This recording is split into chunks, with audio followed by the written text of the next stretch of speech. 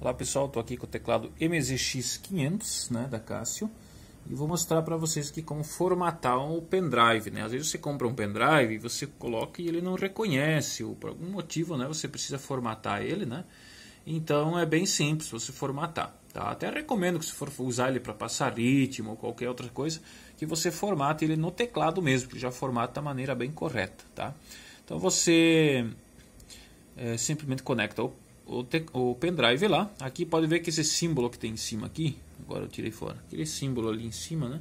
Símbolo aqui é o símbolo que ele está aparecendo aqui, né? Se ele não estiver aparecendo ali é porque está com algum problema. Isso, talvez formatando ele vai resolver esse problema, tá? É, mas eu vou formatar igual esse aqui, tá? Só para você entender como é que faz. Você aperta aqui, aí você vem aqui para frente, vem aqui em mídia. Mídia quer dizer pendrive, né? É um arquivo de mídia. Aí você vem aqui, é muito fácil. Chegou aqui, ó, né? Já tem a opção formatar. Aí você aperta o Yes e é só esperar. Ele vai formatar ele completo. Terminando esse aqui, você pode usar ele para as funções aí que você precisar. Beleza, gente?